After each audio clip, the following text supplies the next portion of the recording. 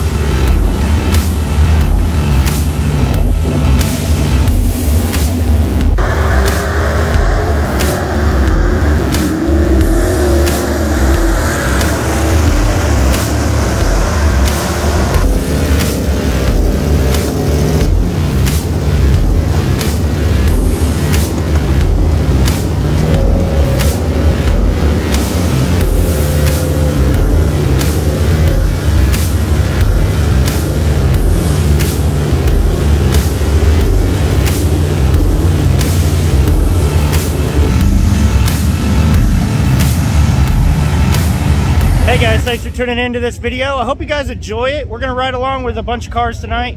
Be sure and like and subscribe. And if you haven't been to Magnolia Motor Speedway, check this place out.